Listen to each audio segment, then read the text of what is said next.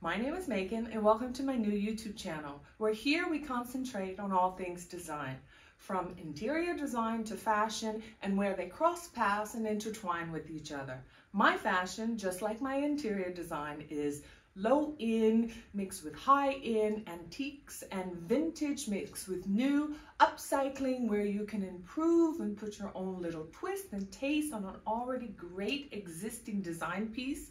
And of course, DIYs, including DIY high-end dupes on a budget, and DIYs based on pure original design. I would love to have you join me on this adventure when Macon Designs.